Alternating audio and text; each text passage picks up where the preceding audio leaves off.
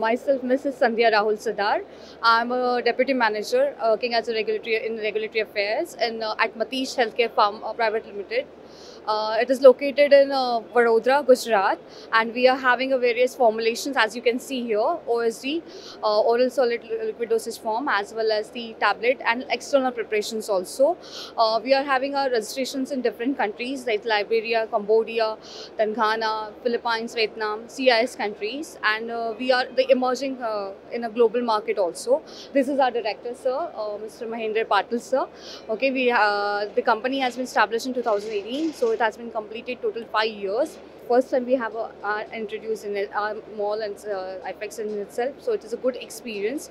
We are uh, overseas uh, clients are more they are coming and they're approaching to us as well as the API clients also there. So it's a good experience. Thank you, thank you so much.